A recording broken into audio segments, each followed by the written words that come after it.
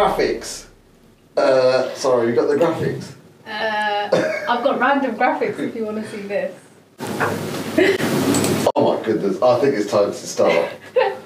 Okay, hi everybody. My name is Dr. Nik Sharma.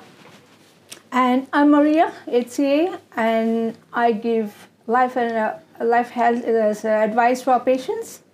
Welcome to our live webinar. Uh, today, what we're going to be doing is talking about type 2 diabetes. Um, so, we're going to be talking a little bit about diabetes, what diabetes is, uh, just a brief overview today. Uh, and at the end, you can ask us any questions that you may have. So, should we start off, Maria? Would you like to explain? I know you see this sort of day in, day out, um, and you're, you're amazing at this. So, just in a nutshell, assume that I know nothing about diabetes. What would you say? What would be the easiest way for you to describe to me what diabetes is? So that's a good question. So you know, diabetes is all about sugar, isn't it? Okay. So why do need we need this sugar? Mm-hmm. Sugar is another word is glucose. Yes. So glucose is a source of energy. Mm-hmm.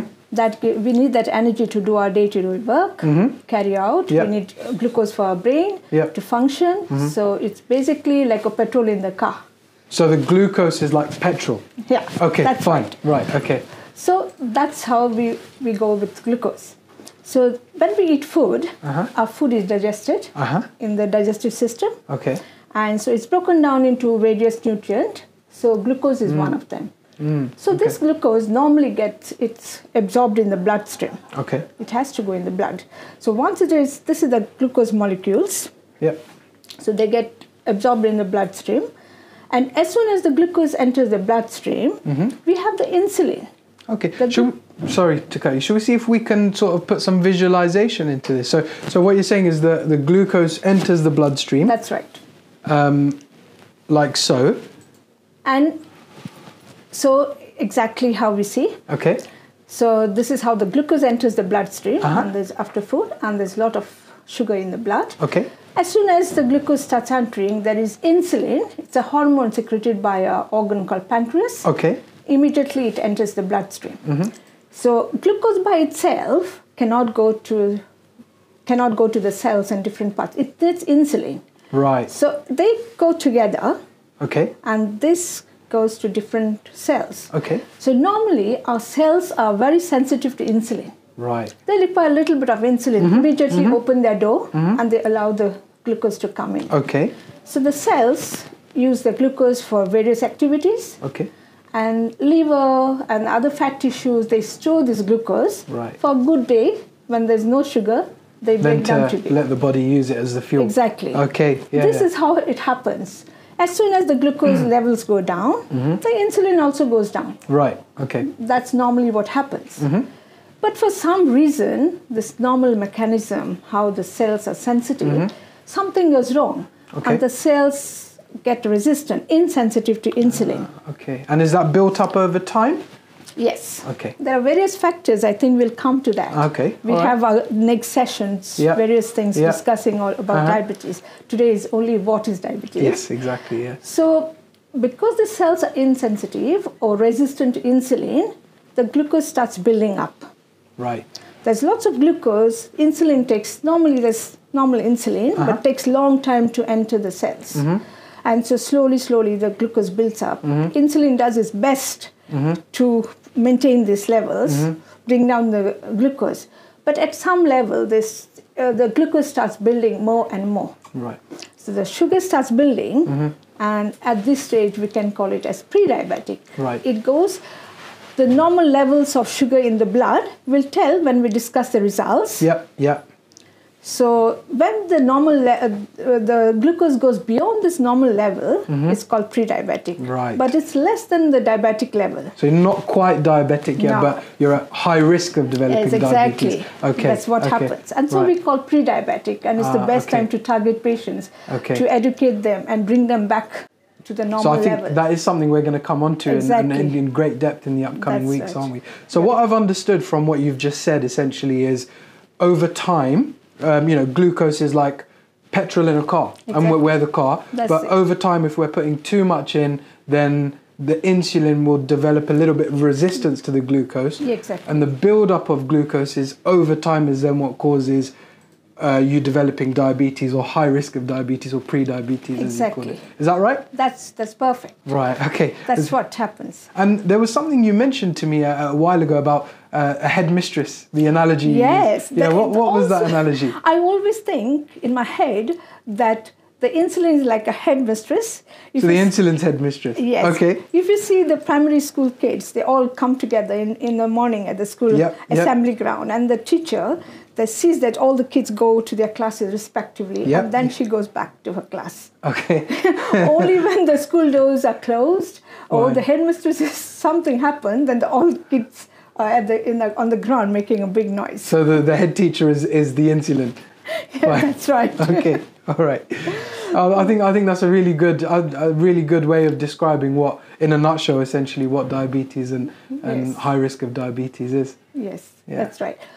Dr. Nik, when Yes. you see a lot of them coming to you, We do, yes, Then, yeah. then you send them to me. yes So how do they come to you? What are the Oh, that's symptoms? a very good how question. do you diagnose very them? good question. So there's there's a few things that we commonly see that we've been seeing. Um, often the first thing is no symptoms. Uh, often you know people will say for years and years up to you know a decade will feel completely fine and someone will or that something will happen and they'll just come in for a routine blood test and it will be picked up on a routine blood test.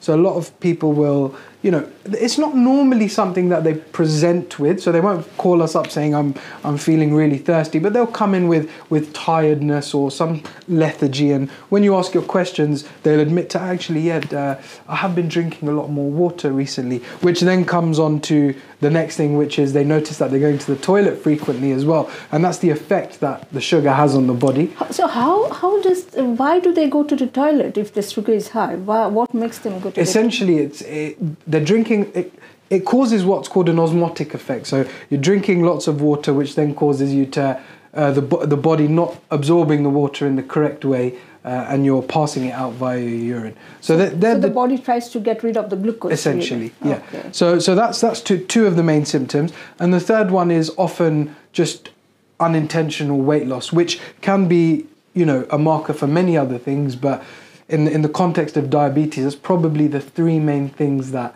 that we see um, in in line with no symptoms at all and, and picked up on a routine blood test some people will come in because they have a their mum or dad or, or friend who's newly been diagnosed with diabetes will come in just for a check as well. But that, again, that's picked up on a blood test. Also, do they come with any infections? Yeah, that's that's a really good question. So so often these are the ones who you know have been what we consider fit and healthy for a long time, not come to the doctors in years, and they'll come in with a let's say a, a cut or a on their arm, accidentally cut themselves whilst cooking or using something sharp, uh, and the wound just doesn't heal.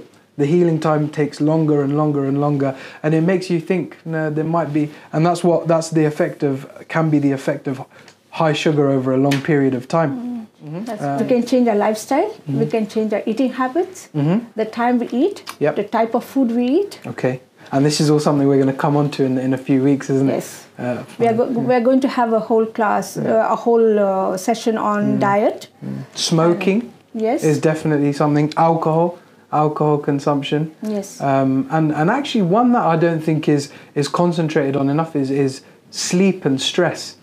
That's Um, right. So increased stress levels will increase the the insulin resistance. Exactly. Yeah, yeah, Incre- is our stress level nowadays we are always on the screen yeah. we are either we are on the computers we go home we are on our phones Mm-hmm. we are constantly and our brain is working less sleep so that, that's one thing we can work on it Yeah, discipline our sleep Yeah. also the weight Yes, yeah. weight is a a person wh- wh- what will say about the bmi So yeah, so normally 25 and under is a healthy BMI, but for South Asians, I think they, the, the new guidance is is 23. Yes. Um, and on that note, uh, there was something you mentioned last week about measurements of waist. So what what are the Exactly. sort of things? What are the numbers we should be looking at? That's very cool. This the the the uh, the fat around the belly is the most crucial because this Mm-hmm. Can damage our uh, uh, important organs like liver and pancreas, Mm-hmm. and that can hamper the uh, the absorption of sugar Yep, yep. and uh, insulin resistant and so on. So mainly for a man, the worst circumference should be 98, Okay, 94. 94. 94. Yeah, yeah. uh, whereas for a Asian man should be 90. Okay. And that's because South Asians are at higher risk of developing exactly. diabetes. A- and for Yeah. a woman, it is 80. Okay. Okay. Yes. That, that's the waist circumference. So Mm. if you can do a lot, little bit of decreasing, even a centimeter or two centimeters, that can take you a long way. Yeah. I think I think that was a really good sort of introduction and overview to to what type two diabetes is. Um, And I think in the upcoming weeks we're really going to be talking about lifestyle factors, diet, exercise, numbers, targets. Um, was there was there anything else that you wanted to add, Maria? Yes, we can set goals. Yes, how they can set Yep, goals. How yep. can they plan their meals? Yep. Even if you are very very busy in your life, you can plan. Yep. And planning absolutely. does help. Of course. Of course. Otherwise, if you go home and if you're very hungry, we eat whatever is there. So And I think just just one take home message would be, and again we will come on to this, is how well people can do after after diagnosis into early diagnosis. yeah into early diagnosis. Exactly. Yeah.